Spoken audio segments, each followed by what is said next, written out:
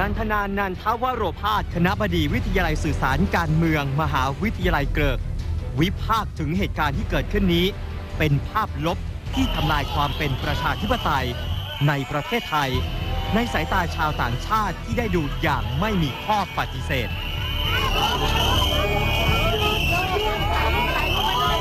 ต่างชาติเนี่ยเขาจะรู้สึกว่าประเทศไทยเราเนี่ยด้อยพัฒนา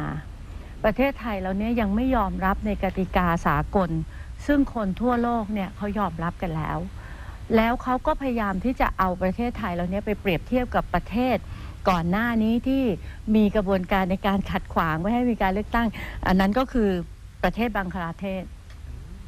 ที่มีการเผาหน่วยเลือกตั้งอะไรต่ออะไร โดยเฉพาะสื่อต่างชาติที่กำลังจับตามองเหตุความวุ่นวายทางการเมืองของไทย ด้วยความงุนงง เพราะในหลายประเทศต่อสู้กัน พื่อให้ได้มาซึ่งการเลือกตั้ง แต่มีคนไทยบางส่วนกลับต่อสู้เพื่อล้มการเลือกตั้งตามระบอบประชาธิปไตย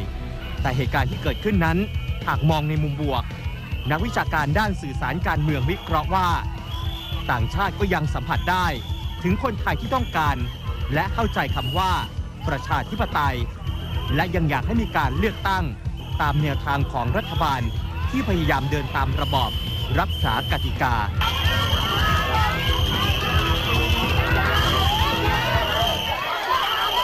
ภาพที่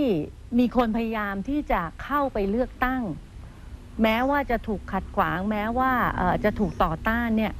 มันสะท้อนว่า คนที่เขารู้สึกว่าเขามีสิทธิ์เขาอยากจะใช้สิทธิ์ของเขา แล้วมันทำให้ต่างชาติ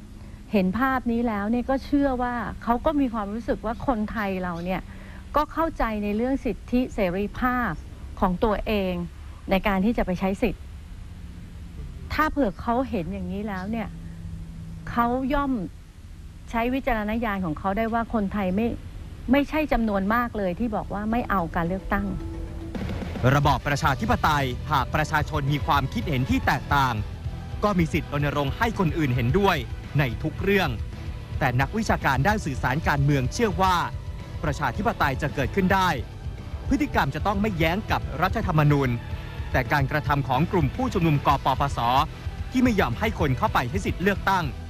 ถือเป็นการล่วงละเมิดสิทธิ์ของผู้อื่นอย่างน่ารังเกียจ แต่การที่ไปไปล้อม ไปกั้น ไปทำร้ายเขาไปไปล็อกกุญแจไปไปไปทำให้เขาไม่สามารถที่จะเข้าไปสู่หน่วยเลือกตั้งได้ อันนี้มันเป็นการขัดขวางการเลือกตั้ง ไม่ใช่การคัดค้าน แล้วการขัดขวางการเลือกตั้งมันเป็นการละเมิดสิทธิส่วนบุคคล ซึ่งผิดแล้วก็สามารถดำเนินการทางกฎหมายได้ การเลือกตั้งเป็นวิถีทางตามระบอบประชาธิปไตย ที่ทำให้รู้ว่าการตัดสินใจของคนทั้งประเทศเป็นอย่างไร หากจะวัดว่าเสียงส่วนใหญ่ของประเทศคิดอย่างไร ก็ควรที่จะวัดจากการเลือกตั้ง มากกว่าแค่การกล่าวอ้าง ว่าคนส่วนใหญ่คิดอย่างไร